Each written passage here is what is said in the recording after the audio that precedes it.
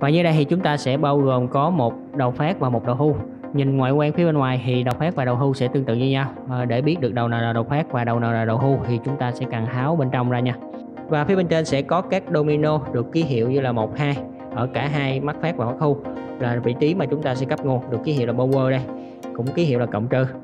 Ở đây thì cảm biến sẽ hoạt động ở điện áp là DC 13,8 cho đến 24V hoặc là AC từ 11 cho đến 18V chúng ta sẽ sử dụng trong giải điện áp này được được nha.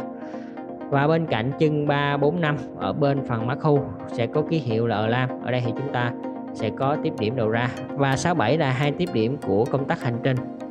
Công tắc hành trình này sẽ liên quan đến phần à, nắp của cảm biến. Khi chúng ta đẩy nắp thì công tắc hành trình này sẽ đóng lại và hai tiếp điểm này sẽ đóng lại. Và phía bên cạnh của mắt khu sẽ có một chiếc áp dùng để điều chỉnh từ 1 cho đến 6 ở đây tương ứng với lại độ nhạy à, nôm na dễ hiểu hơn là độ phản xạ của à, cảm biến. Và phía bên cạnh sẽ có hai điểm để chúng ta à, đưa que đo của đồng hồ đo. Được ký hiệu là lever.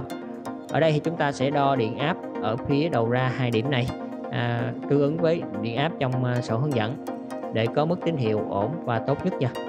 Và để xem được các thông tin chi tiết khác cũng như là sơ đồ lắp đặt thì các bạn có thể truy cập điện tử dt.com tìm kiếm với mã của sản phẩm. Bên trong website sẽ có các thông tin chi tiết khác của mạch cũng như là sơ đồ lắp đặt và video hướng dẫn. Và đặc biệt hơn, các video hướng dẫn cũng như là các chương trình hiếu mãi sẽ được cập nhật trên kênh youtube cũng như là trang fanpage của điện tử DT. Các bạn nhớ like và theo dõi trang fanpage cũng như là kênh youtube để không bỏ lỡ bất kỳ video cũng như là chương trình khuyến mãi nào. Xin chào và hẹn gặp lại.